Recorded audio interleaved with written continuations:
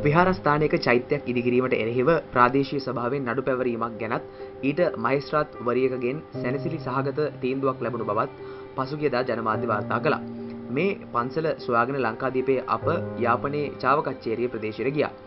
මේ පන්සල තිබෙන්නේ යාපනය මන්නාරම පාරේ නාවක් කුලිය ප්‍රදේශයේ.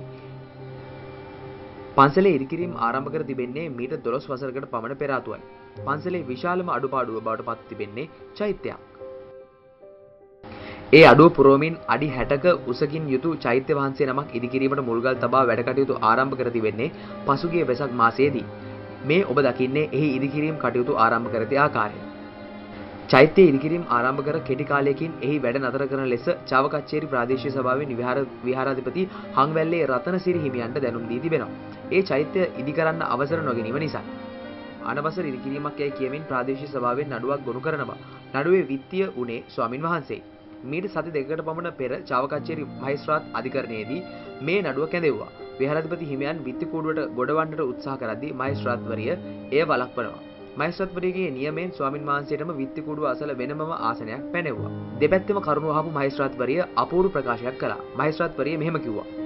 මේ රටේ සියලුම ජාතීන් සමාන අයිතිවාසිකම් භුක්ති විඳිමින් ජීවත් වෙන්න ඕනේ. සිංහල දෙමළ මුස්ලිම් කියලා නොසිතා සියලු දෙනා සියලු ආගම් වලට දර්ශනයන්ට ගරු කරන්න ඕනේ. බුදුදහම කියන්නේ නිර්මල ධර්මයක්. අපි අන්‍ය ආගමිකයන් වුණත් ඒ ධර්මයට ගරු කරනවා. දැනට බාධා මැද වැඩ කටයුතු නතර වී ඇති නාවට්කුලි පන්සලේ වැඩ කටයුතු ගැටලුවකින් තොරව කරගන්න එක ගැන පන්සලේ හාමුදුරුවොත් එක්ක නාවට්කුලි ප්‍රාදේශීය ලේකම් සහ නිලධාරීන් කතා කරලා ඒ වැඩේ කරගන්න අවශ්‍ය උපදෙස් ලබා දෙන්න ඕනේ. මේ නිසා මේ අවසරය ලබා දීම සඳහා අවශ්‍ය කටයුතු සිදු කර දී එම වැඩ කටයුතු සාර්ථකව කර ගැනීමට සහාය වන්න කියා මහේස්ත්‍රාත් ශ්‍රීනිධි නන්දසේකරන් මහත්මිය ප්‍රාදේශීය සභාවේ ලේකම්වරිය ඇතුළු නිලධාරීන්ට උපදෙස් දුන්නා.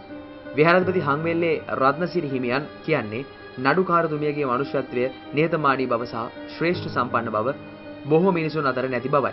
මේ නඩුකාරතුමිය උතුරේ අයට පමණක් නොව දකුණේ අයටත් හොඳ පාඩමක් කියා දුන්නා කියලා නායක හමුදුරුවෝ කිව්වා.